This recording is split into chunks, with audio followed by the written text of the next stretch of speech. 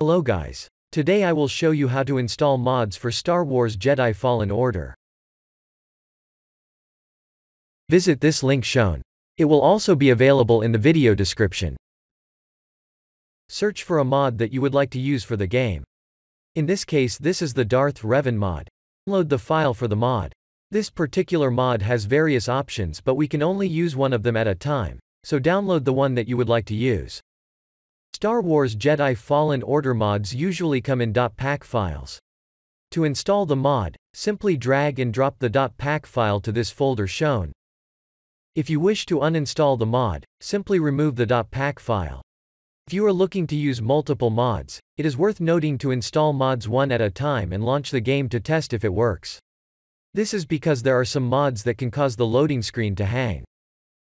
If the mod has specific instructions on how to install it, please follow that as well. It's been a long time This concludes the here. tutorial on how to install mods for Star Wars Jedi Fallen Order.